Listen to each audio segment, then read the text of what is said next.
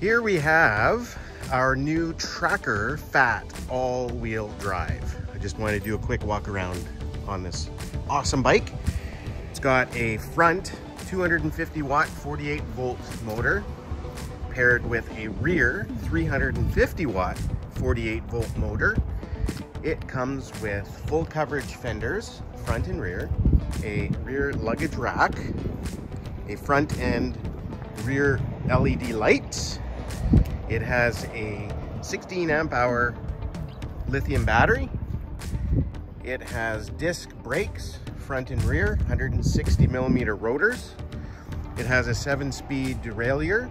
And uh, here we have the switch to go from uh, front motor, dual motor, and rear motor. It's got the trigger shifter for your derailleur. It has a nice LCD display and a thumb throttle.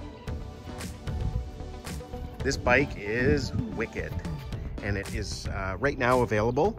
Uh, we have inventory and it's $24.99. Come on down for a test ride today.